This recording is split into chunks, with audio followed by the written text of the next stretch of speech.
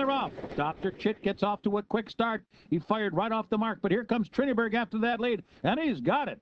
Trinniberg races to the front. And then coming on through between horses, Dr. Chit now runs along in second, followed by Currency Swap, and he's right up there too.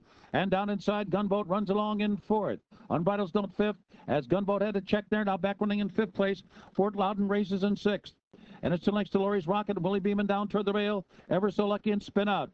So it's Trinniberg who zips through an opening quarter in 22 and one fifth seconds. He's going to run as far as he can, as fast as he can. And Dr. Chit's not far behind. And Fort Loudon's on the outside. And Currency Swap now two and a half lengths from the lead as they round the far turn here at the spa.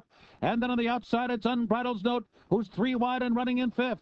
The half was up in 45 seconds flat. So it's still Trinniberg and Dr. Chit. One, two as they turn for home. Currency swap still behind them third as the field turns for home here. At the top of the stretch, it's Dr. Chit on even terms with Trinniberg.